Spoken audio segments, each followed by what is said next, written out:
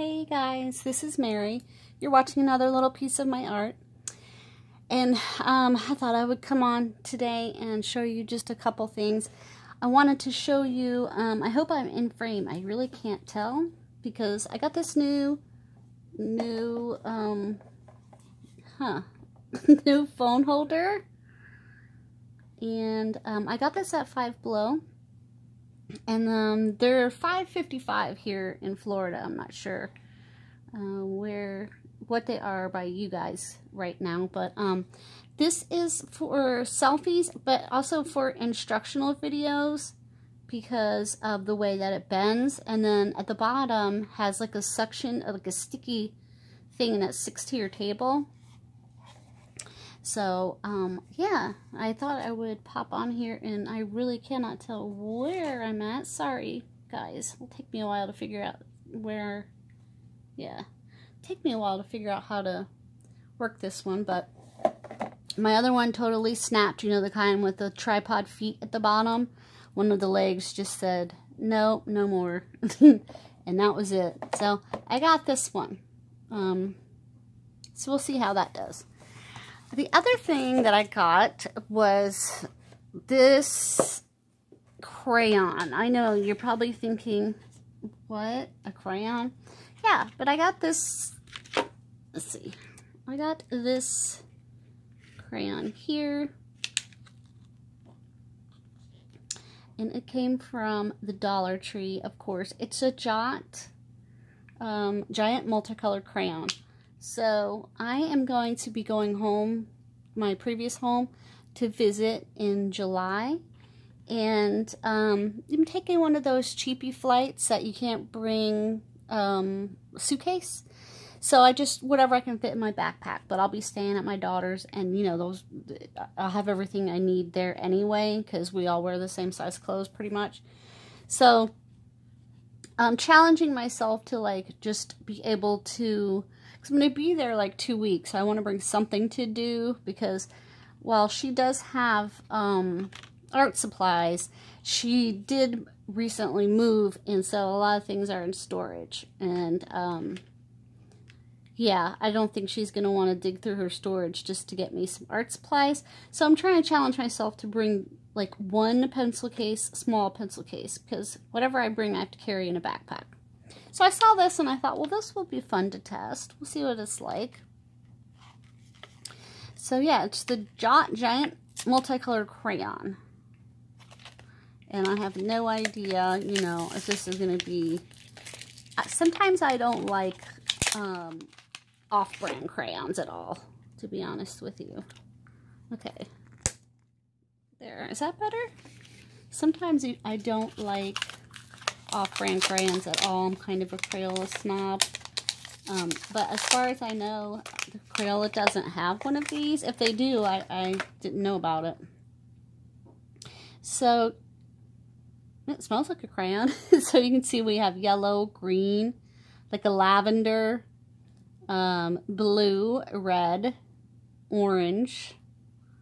So pretty much all the all the basics there, right there. So let's give it a shot. I have uh, Mulga's Magical Coloring Book here. Mulga, mainframe, yep. And I thought we would test this out on the bubbles. Now, the only thing I can see would be a problem is um, when you need to sharpen. So maybe get you one of those really fat pencil sharpeners for the fat eyeliners. Other than that, I guess maybe just use a knife but let's see if we can, what we can get it to do. So let's try the blue and purple over here.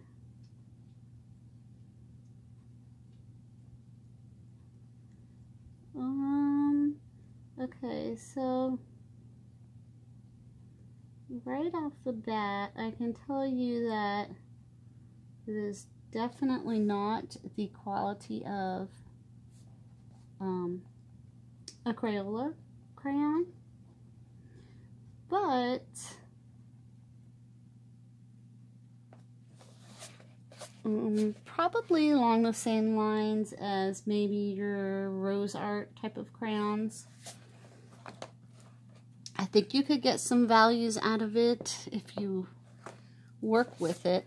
Um, and the whole idea was not for me to bring, you know, a bunch of coloring stuff, but just bring something to add color to pages. Um, because usually I, I bring whatever journal that I'm working in whenever I travel, and so um, I just really look for something that I can jazz up my writing with, so to speak. I mean, it's not going to be, I don't think I'll have time to be coloring the whole pictures while I'm there because my son and daughter-in-law are um, having a baby, or they'll be, the baby will be born. My grandson will be born, so I will be visiting and holding babies and doing all that kind of stuff.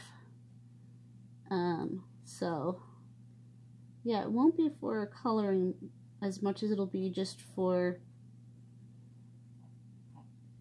zhuzhing up my journal page. So, hmm. See if I can get to the red by pressing straight down. Oh, okay. It's, um, it's a little bit of a learning curve to try to figure out, you know, where you're going with this. And also staying in the lines. Um, but I think that with the right paper, might not be so bad. What do you guys think? Is this something that you would purchase? And how would you use it? I don't know about, um, you know, adding some chemicals to it to make it to make it smear better. It's not. I, it's not. Uh, it's just not very pigmented. I guess is the way I want to say that. But um, you certainly get quite a bit of, I mean, it would take forever to use this crayon. So, what do I think? Um, eh, uh, I don't know, guys. Um, I have to play with it on some, like, some textured paper to see if I could get any val better values out of it, you know, and mess around with a little with it a little bit more. Um, so mostly just a novelty impulse buy. Um, but yeah, I just thought I would show you guys and say hello and see how you all are, and I hope you are well. And um, as far as the phone stand, though, definitely uh, recommend the phone stand at Five Below. So you can see here the features. Um, yeah. Alright, guys, I will talk to you soon. Thanks for watching. Bye-bye.